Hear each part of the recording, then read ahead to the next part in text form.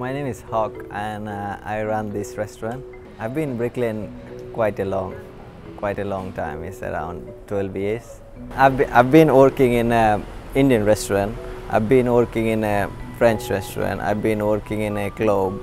I love Indian food as well, and Brick Lane is famous for Indian food as well. But um, I was thinking to try something different because a lot of different people coming and doing something, they're getting success as well, and people need to you know the times makes it change all the times. When i started with the japanese say only japanese then rental rate is so high so i was thinking i have to do something else as well to cover this cost. So i was trying start doing a mexican delivery.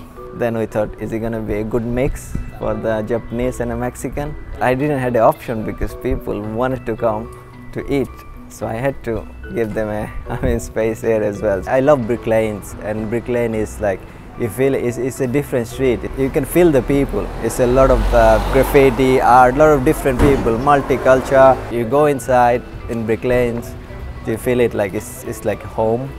They'll, you'll love it.